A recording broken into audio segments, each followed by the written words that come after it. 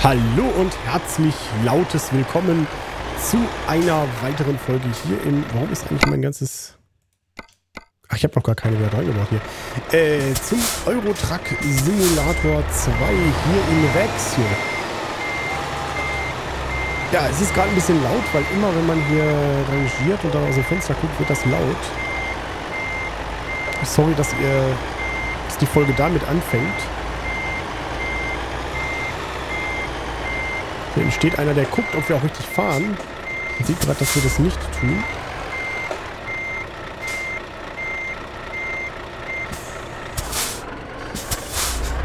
Ich ziehe einfach nochmal gerade.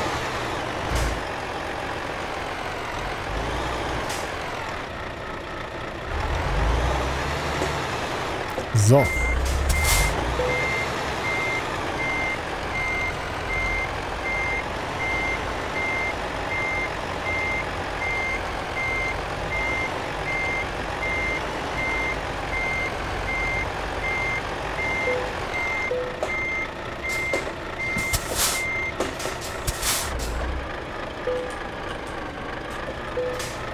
Nicht schön, aber selten. Ausgezeichnet.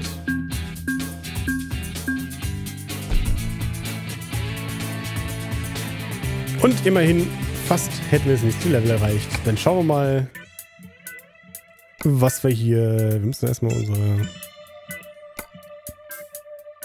Firma mal nagen. Dann können wir uns gucken, was unsere Mitarbeiter so alles treiben. Also, die Georgia, die ist fleißig am Leveln auf Fernfahrt. Bewertung derzeit 2,5 ist natürlich auch nicht so prickelnd. Profit, Profit pro Strecke 9,22 Euro und 10,05 Euro. Ja, die ist an dem guten Martin vorbeigezogen. Das muss man ja mal hier neidlos anerkennen. Und wir schauen mal, wo es jetzt hin versteht. Ich würde ja gerne irgendwas nach Bergen haben. Da, da sind wir.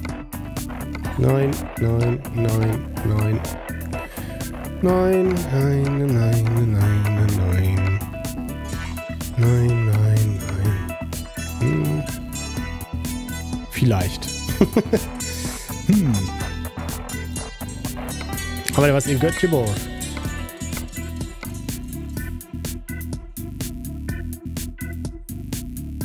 In Christiansund. Da möchte ich gerne hin mit euch.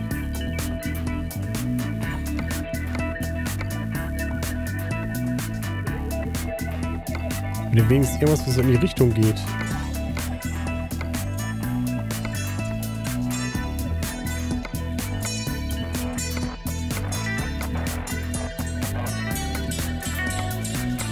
Nee, dann müssen wir in der Tat mal nach Stockholm.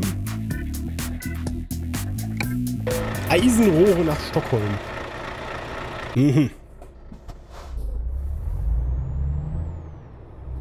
Dann schauen wir mal, was das gibt.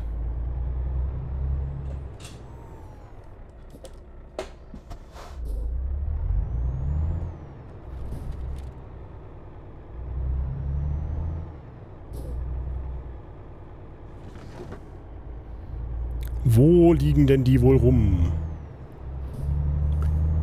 War das irgendwo auswärts? Ich weiß es gar nicht. 28.000 am Konto, da kommen wir natürlich jetzt hinsichtlich unserer Pläne, die Firma zu expandieren und hier oben irgendwie äh, Anschaffungen zu machen, damit wir dann entsprechend auch einen Jump Point haben. Moment, ich hätte hier reingemusst, ne? Stopp. Da kommen wir in der Hinsicht noch nicht so viel weiter jetzt, ehrlich gesagt.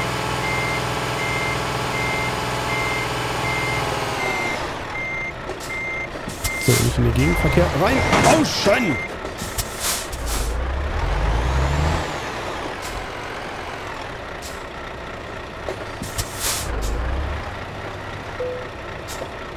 So.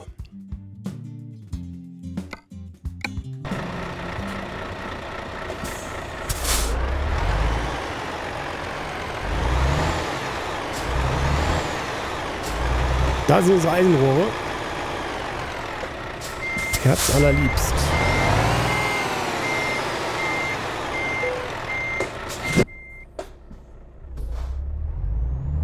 Und los geht die Reise. In sechs Stunden sind wir da, also eine ordentliche Strecke für das wenige Geld.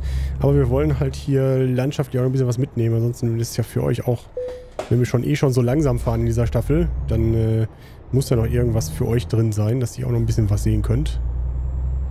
So, das, äh, das Tor da hinten, das haben wir wie immer mitgenommen, ne?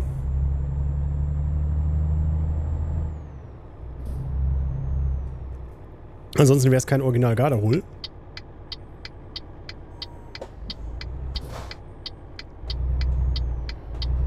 So.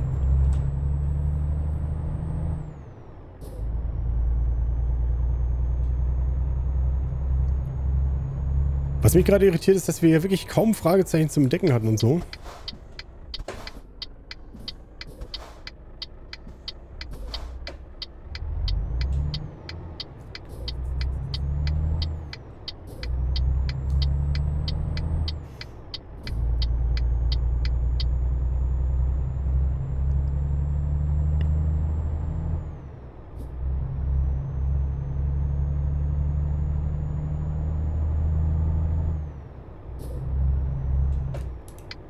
So, was haben wir hier für eine Kreuzung? T-Kreuzung. Ja, ein bisschen besser aufpassen.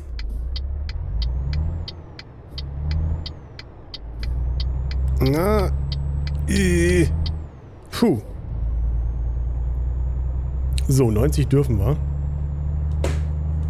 Beziehungsweise wir dürfen hier 70. Und der grüßt wieder ganz freundlich. Und wir haben vor uns Autobahnen, wenn wir Glück haben. Nee. Wir haben kein Glück, glaube ich. Finden wir raus. Also solange da 70 steht, mh, hm, meh.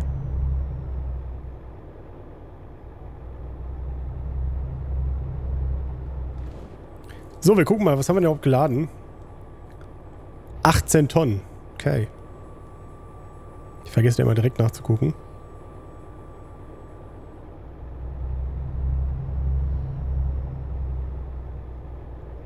Und von der schönen Landschaft sehen wir jetzt auch nicht so viel. Haben wir denn irgendwie Expressdruck? Nee. Nächste Pause in vier Stunden. Das heißt, wir könnten theoretisch jetzt eine Pause machen, damit wir am helllichten, helllichten Tag aufnehmen. So, mal gucken, wann hier die nächste Raststätte kommt.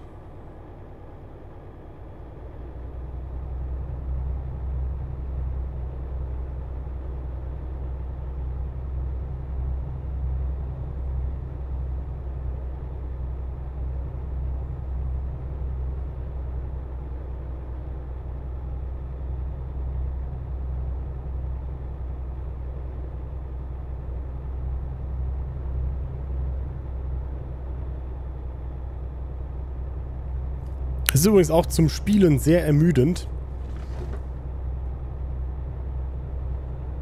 Ähm, wie soll ich sagen? Also, es passiert halt nicht so viel jetzt dann, ne? Aber gut. So ist halt realistisch gefahren und eigentlich ist es ja auch richtig. Also Simulator bedeutet ja, etwas möglichst realistisch abzubilden. Also Beispiele für keinen Simulator ist zum Beispiel der Landwirtschaftssimulator. Ist halt nichts realistisch. Äh, gutes Beispiel für einen Simulator ist zum Beispiel der Fahrgeschäftssimulator. So albern das klingt, da sind echte Fahrgeschäfte mit der echten Steuerung drin. Nur mal so als Beispiel.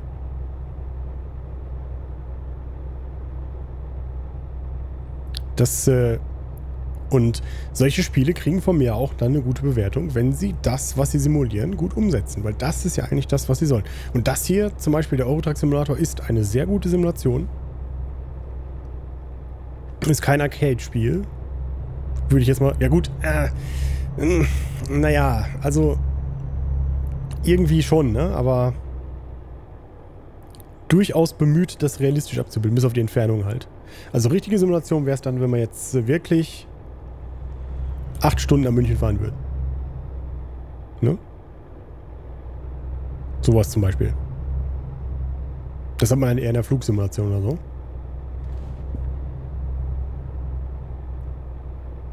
Und mit Arcade und äh, Warum der Landwirtschaftssimulator kein Simulator ist, das habe ich, glaube ich, schon hinreichend oft genug erklärt.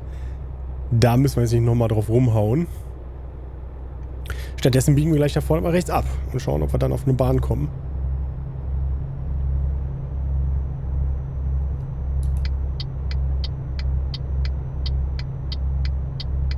E4 steht da.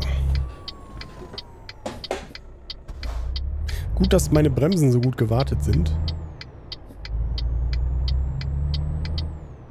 Das sind aber auch kleine, winkelige Sträßchen hier. Da muss man echt Angst haben, dass wenn man da irgendwie mal leicht antischt, dass da alles auseinanderfällt hier. Aber trotzdem sehr, sehr liebevoll dann auch wieder gestaltet, ne?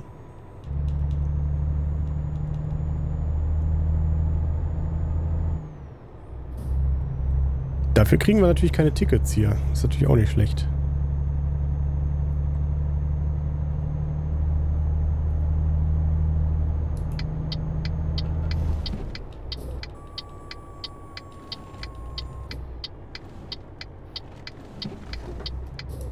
So.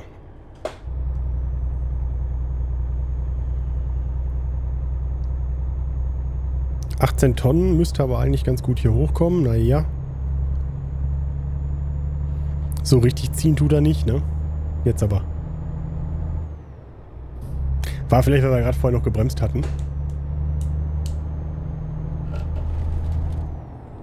Übrigens ist euch das auch schon aufgefallen, dass dann hier mal hinter so Auffahrten oder vor so Auffahrten dann immer mal so komische Übergänge sind. Zwischen den Patterns oder so, keine Ahnung, wo das liegt. Manchmal habe ich den Eindruck.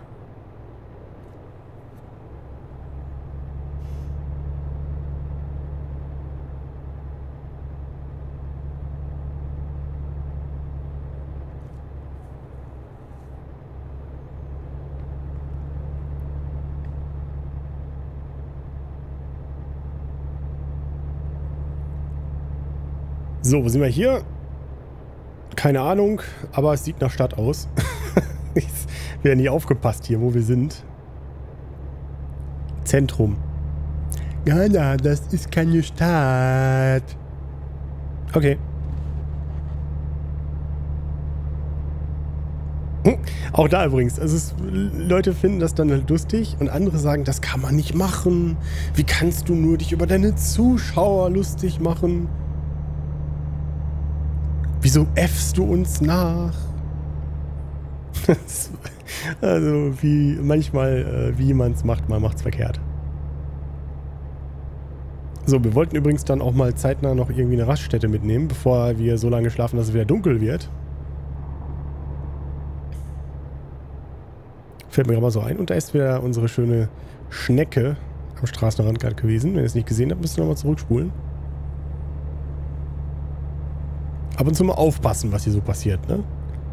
Nicht einfach nur meinem Gelaber zuhören und nicht auf das Video gucken.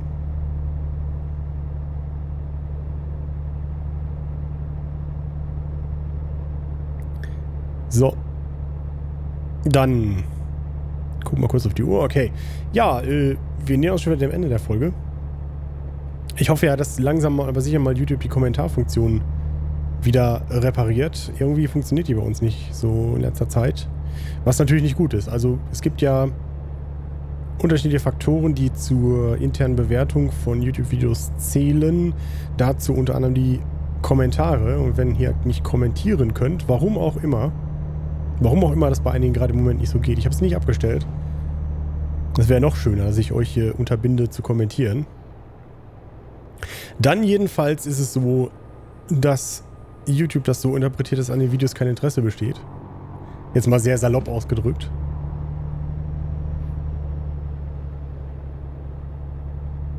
Und ihr ahnt es sicherlich schon. Ja, das ist nicht so gut.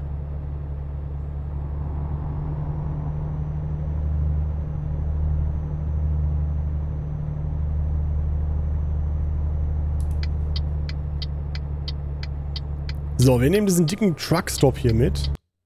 Oder ihr nehmt uns mit. Okay, diese Mod ist noch nicht 100% äh, kompatibel. Ich hoffe, das Spiel hat zwischendurch an der Stelle gespeichert, wo wir halbwegs gut weiterspielen können. Das heißt, äh, ja, wenn ihr das jetzt noch hören könnt, danke fürs Zuschauen und bis zur nächsten Folge oder Shuffle. Macht's gut. Tschüss.